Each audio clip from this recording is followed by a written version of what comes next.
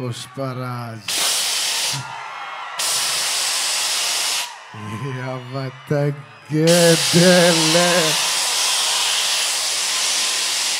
Pushpa to Baahubali हुई या फिर आर आर आरआरआर की मैं बात करूँ या फिर मैं केजीएफ की बात करूँ?